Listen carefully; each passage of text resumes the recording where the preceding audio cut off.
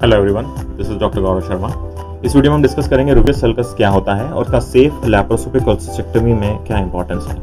ये जो इमेज है लैप्रोस्कोपिक कोल्सिस्टेक्टमी में जब हम गॉल ब्लैडर को रिट्रैक्ट कर देते हैं, उसके बाद अंडर सर्फेस ऑफ़ लिवर कुछ इस तरह का दिखाई देता है यह है गॉल ब्लैडर यह है फेल्सिफॉर्म लिगामेंट यह है ड्योडेनम या स्टमक में से कोई एंट्रिक स्ट्रक्चर यहाँ पे हमारा लेफ़्ट लोब है, यहाँ पे हमारा राइट लोब है।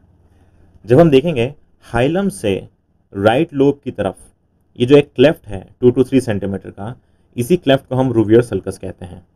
इसका इंपॉर्टेंस क्या है? देखिए लेप्रोस्कोपिक ऑल्सिस्टेक्टमी में हमारा मेन कंसर्न ये होता है कि हमें कभी भी सीबीडी को या तो क्लिप या इंजर किसी भी तरीके से नहीं होने देना है। तो ये हमारी कैसे हेल्प करता है?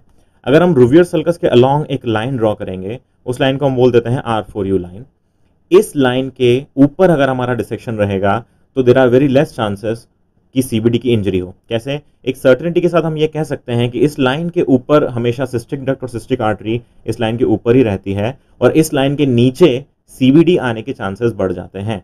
तो अगर हम ये प्रिंसिपल फॉलो करें कि हमारा डिसेक्शन क्लिपिंग जो भी रहेगा, वो इस लाइन के ऊपर ही रहेगा तो सीबीडी को इंजरी होने के चांसेस बच जाएँगे।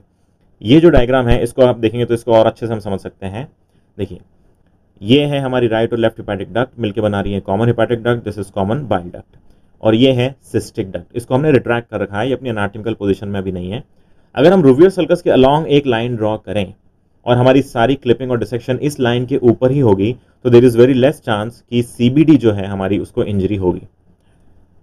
यही चीज़ इस डायग्राम में समझाई है आर फॉर यू लाइन इसके अलॉन्ग अगर हम एक प्लेन इमेजिन कर लें तो हमारा जो सेफ़ डिसेक्शन वाला ट्राइंगल है, वो भी इस प्लेन के ऊपर ही होता है। हमें हमारा सारा डिसेक्शन और क्लिपिंग इस प्लेन के ऊपर रखनी है।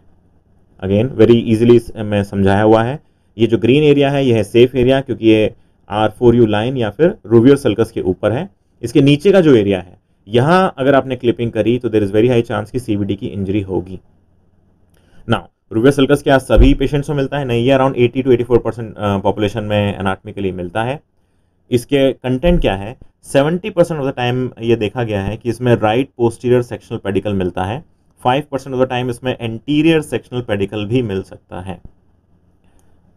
ये जो सल्कस है, इसे हम, अगर इसका कंटेंट आपको विजिबल है तो इसको हम ओपन कह देते हैं। अगर इसका कंटेंट नहीं विजिबल है तो ये क्लोज सल्कस हो जाएगा। मेन सिग्निफिकेंस है, इस सल्कस के अलॉन्ग एक लाइन आपको इमेजिनरी लाइन ड्रॉ करना है और अपना डिसेक्शन आपको इस लाइन के ऊपर ही रखना है। So this is one of the component of safe laparoscopic cholecystectomy. Thank you.